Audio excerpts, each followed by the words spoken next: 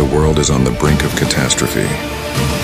One man has to rise up to save it and show the world how they can save themselves from annihilation and bring about a new era of prosperity, with the United States embroiled in an endless conflict between Ukraine and Russia, the brewing conflict with China over Taiwan, the Mexican cartel crisis, tensions with North Korea, growing tensions in the Middle East with Iran, Republicans and Democrats bitterly divided, and the United States on the brink of civil war.